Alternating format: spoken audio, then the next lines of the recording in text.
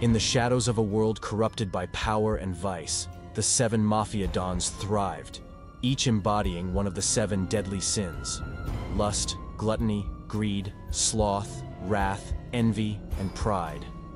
Greed, the most influential among them, stood atop his empire, his gaze sweeping over a city that pulsed with the sins of his making. To him, the other dons were extensions of himself, mirrors reflecting his own insatiable desire for more.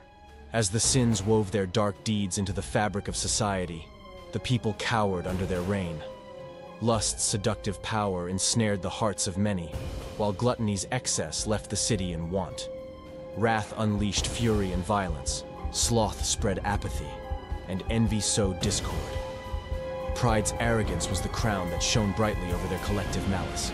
Yet, as greed observed the chaos below, a seed of self-loathing took root within him.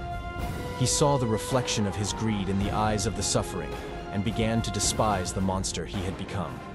The more the sins indulged in their depravity, the deeper greed's hatred for himself and his kin grew. He realized that their reign of terror had to end, but could he end and keep all the power for himself too?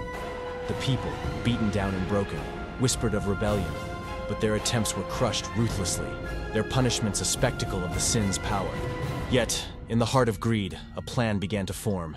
It was so treacherous it could only be born from the very essence of the sin that named him.